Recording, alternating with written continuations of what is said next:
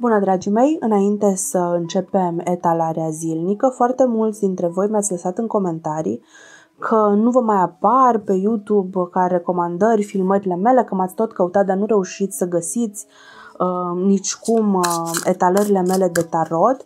V-aș recomanda să vă uitați dacă sunteți sau nu abonați la canalul meu de YouTube. Abonarea e gratis, nu vă costă nimic.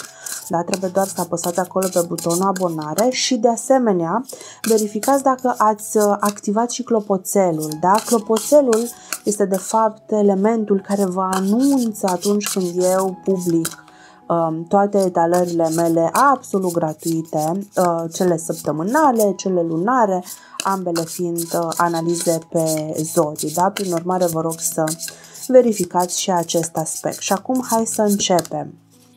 Pentru ziua de miercuri, energia și mesajul cărților de tarot, sfatul zilei pentru toată lumea, vine de la acest șapte de bâte, arcana majoră soarele și arcana majoră steaua. Ce să zic, dragii mei, ziua de miercuri pare să fie o zi foarte importantă pentru toată lumea, indiferent de semnul zodiacal, de vârstă, de etnie, de gen, de rasă și așa mai departe.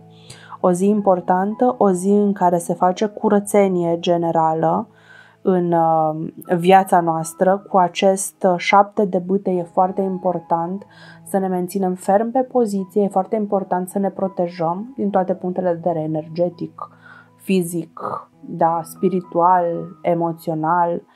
Lucrurile o să iasă foarte bine cu arcana majoră soarele și cu arcana majoră steaua.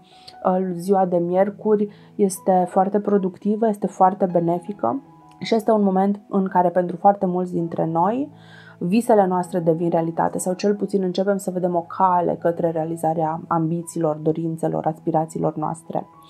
Dar um, lecția aici ca să putem obține aceste lucruri, da, este această fermitate și uh, această nevoie de a nu ne da bătuți, pentru că văd că ne aflăm pe o traiectorie foarte ascendentă, foarte benefică aici.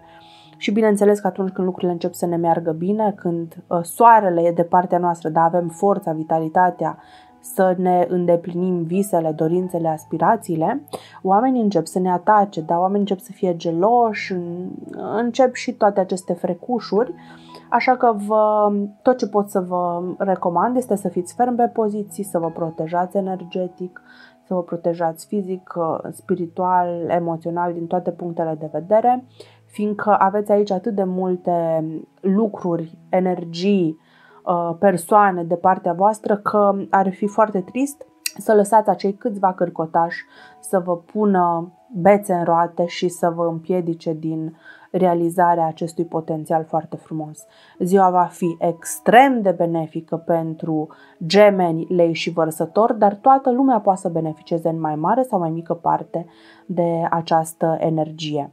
Înainte să finalizăm, vreau să vă aduc aminte că pentru detalii mai multe pentru o analiză mai detaliată, mai specifică pentru situația voastră particulară, am etalările săptămânale și etalările lunare pe fiecare semn zodiacal în parte. Vă recomand să vă abonați canalului meu de YouTube ca să puteți să accesați și aceste informații.